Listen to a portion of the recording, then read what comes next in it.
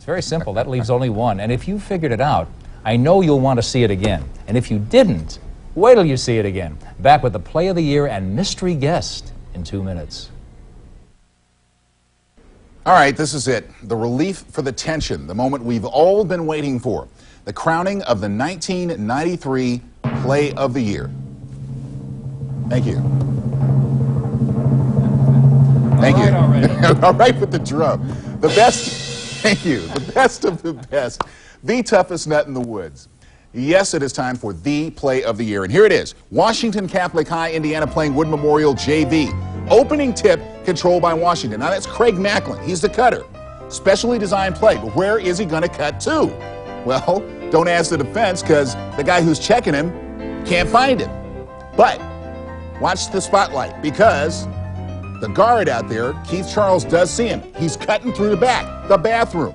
Charles delivers the pass. Macklin meets it upon returning from the bathroom and calmly drains the three. Well, Washington Catholic goes on to win the game 61 to 32, but who could lose after an opening like this?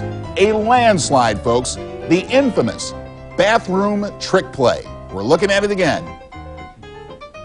And it will live forever in infamy as the play of the year. Ta-da.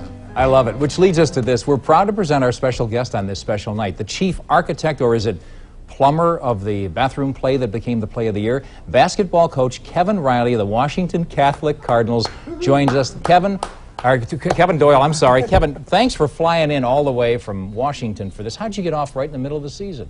Well, we've had uh, some days off here that we were able to get away, and uh, I appreciate you guys asking us to come down here. Well, I, is the team doing well without you? or- Uh, well, I hope they're doing better without me now.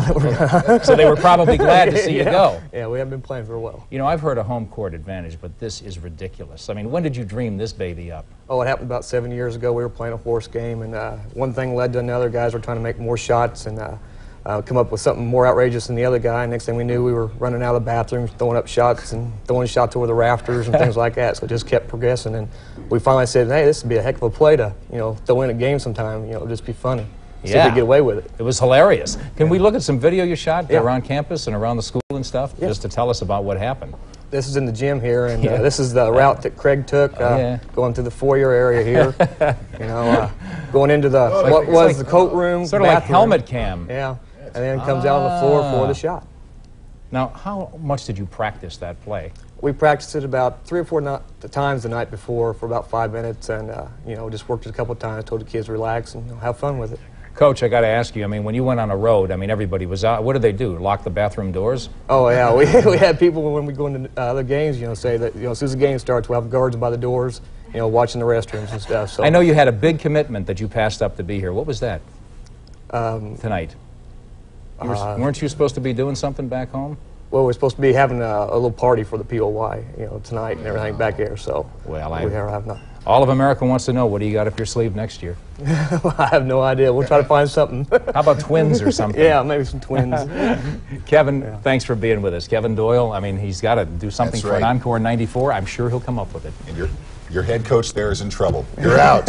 anyway, that's going to do it for this year's edition of the, the umpteenth edition of the Play of the Year show. We hope you enjoyed it. I'm Fred And I'm Nick Charles. We'll do it again next year, but in the meantime, we'll be back tomorrow night. Thanks for watching.